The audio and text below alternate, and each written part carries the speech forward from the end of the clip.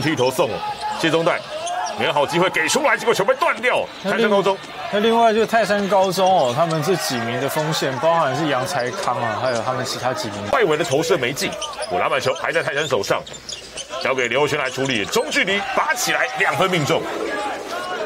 外，我这个就是不给宇中有任何简单进行 playmaking 啊这样的机会。哇，右卫，这个是什么？啊，其实学生球赛就是这样，你有没有办法汲取教训，从中获得学习养分？哇，这个防守有点不应该。杨才康，这意识上是差不多的。以体型来说的话，杨才可能更属于这种内线型的球员。对，连续在两次两个阶段都是拿下最后一张门票。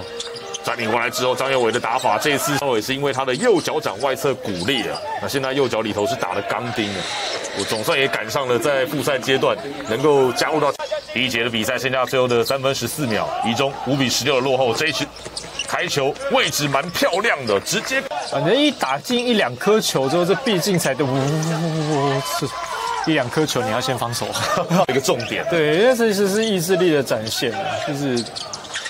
大多数的教练不会喜欢那种你动不动就要对接方。打 River 只是说，这是你自己的工作。你在开什么玩笑？你既然是球队的头号球星了，必须要想办法去搞定对方的头。陈立强抓到，再拿回来。十四秒的进攻时间，再次送到左边底角，再度尝试，这回有了。收球之后再往外传，进攻时间下最后的三秒钟，选择用右手的抛投，没有碰到篮筐，篮底下拿到球之后再起来。球队啊，像杨才康这样子，他们本身就是很善于这种身体碰撞的球员，不害怕去对抗。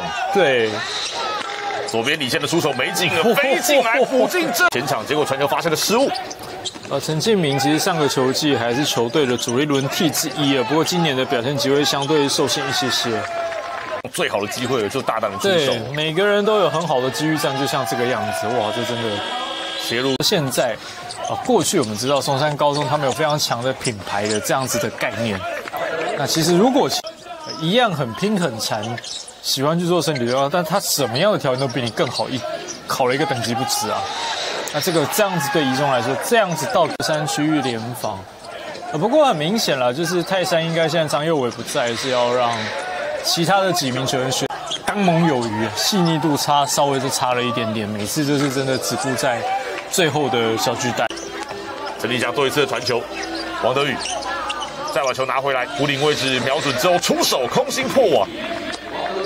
一中连续三年杀进到台北小巨蛋了，对于泰山来说的话，已经是写下队史新页。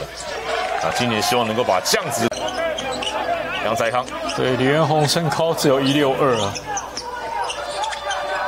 其实泰山过去从应该从林梦达之后就很少出现这种小后。泰山高中在上半场缺少了一个环节啊，现在看看能不能补上。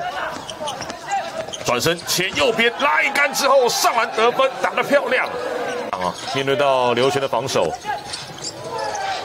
选择再带到罚线附近啊！哇，这个位置已经是投到，也有机会进一步的缩小比分的差距啊！哦，人要先对啊，啊，又是一样的问题啊！啊，整体很明显，泰山能够有用分组前三晋级的机会。对，我相信打到这个这个阶段呢，哇，这个球吹进，交给尤文，直接带到三分线内了，再转移出来，外围有空档，这回也把握住了，郭元礼。段永远靠几个高三的学长跟有经验的球员，一定要有人想办法挺身而出哦。罗维明，哇，这个烂仗真的空中有点摘巴勒的味道。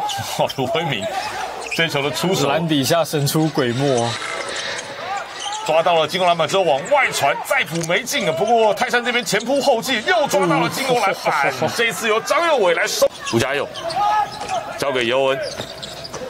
外围的倒传，右边底线呢，带步之后的空档，这一次有难度的出手，但想办法投进了。外力是真的相对比较有限。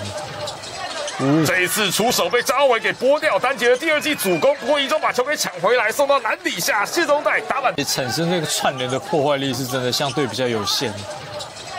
这一次出手被张伟给拨掉，单杰的第二季主攻，不过一中把球给抢回来，送到篮底下。平场篮板球的时候，裁判响哨。球权要判给宜中哦，第三节还剩下最后不少记的 top shot。如果这种高难度的出手累积的选手自信的话，那接下来可能会更加肆无忌惮的开火。对，那现球原本一开始以为一中会拿到，但泰山抢到球之后，张佑伟一马当先跑快攻比赛的样子。刘友轩切右边踩脚步，没有直接攻击，再送出来。李仁宏又是一记三分球。对，前面猜想暂停过后，其实在廖明教练这边也是派上了更多的年轻球员哦。对杨才康抓到篮板，直接长传给到了前场哦，拿球快攻的上篮有了。为了出手落空，杨才康自己运球过半场啊，身体有接触之后送到了右路。吴宇泽外线的尝试有了。对于一中来说，这一段期间是真的出现蛮多状况。